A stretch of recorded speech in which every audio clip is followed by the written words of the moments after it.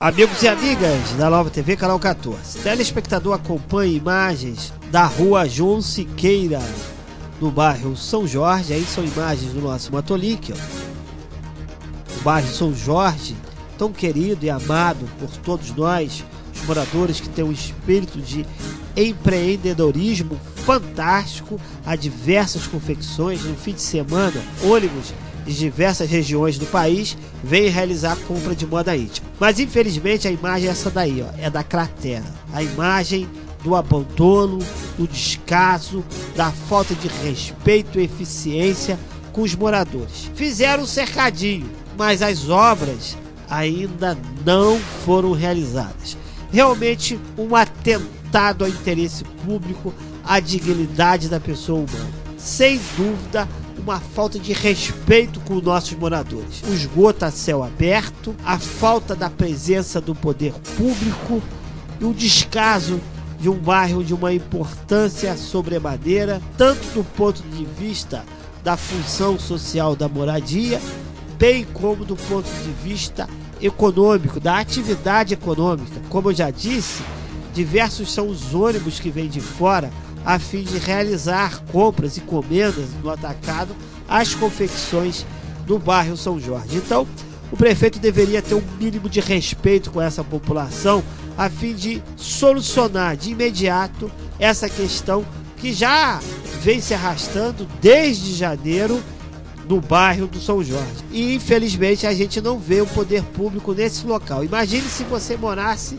exatamente do lado desse local. Será que você estaria tranquilo? Será que sua vida seria refletida de maneira maravilhosa, numa paz social? Com certeza não.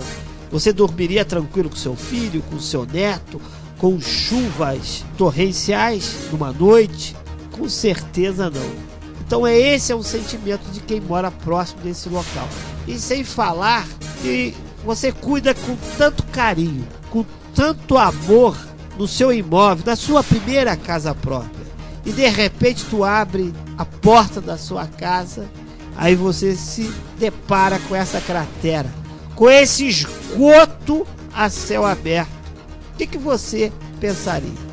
Como você agiria? Com certeza você não estaria feliz com esse governo, com a omissão do poder público. E é essa sensação que os moradores têm.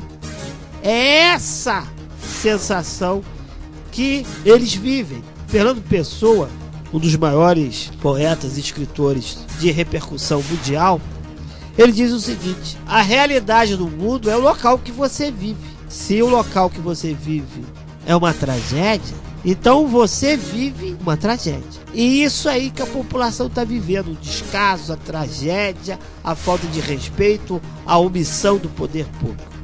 Então vamos esperar que o poder público possa ir até o local não para papoterapia, porque para papoterapia já tiveram aí, mas é com materialidade, é trazer a presença do poder público no local, trilhar pelo princípio da eficiência e da prestação do serviço público e não da omissão, da negligência e do descaso com os moradores do São Jorge. Lembramos ao telespectador da Nova TV que o nosso telefone é 25229058.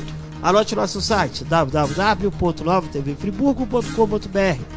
Lembre-se, Nova TV é a nossa força, é a nossa voz.